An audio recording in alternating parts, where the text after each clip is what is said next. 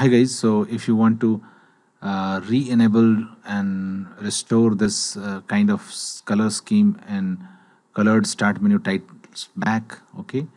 Uh, if you want there's a colored start menu tiles back in your windows 10 and you do not like the current scheme of color scheme of start menu tiles and if you want to get this old uh, colored start menu tiles scheme then here's the thing. You can do it via registry just search regedit in the windows 10 search box. Now click on registry open it.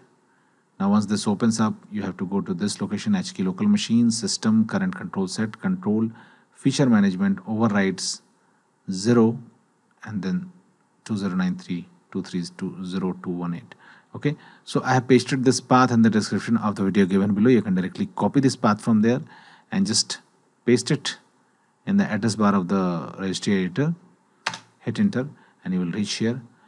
Just locate uh, look in the right side. You will see enabled state. Just double click on it and change the value data to zero and click on ok.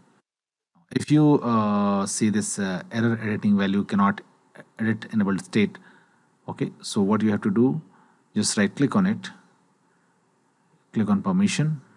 Now click on advanced. Now just click on change. Now type administrators. Okay. Click on check names. Now click on ok. Now check this. Replace owner on subcontainers and object. Check this also. Replace all child object permission entry with inheritable permission. Click on apply. Click on yes. Click on ok. Now just select this administrator now check this. Allow. Click on apply. Click on ok. Now you can change this. Just double click on it. Change the value data to zero. Click on ok. And now restart your computer and your problem will be fixed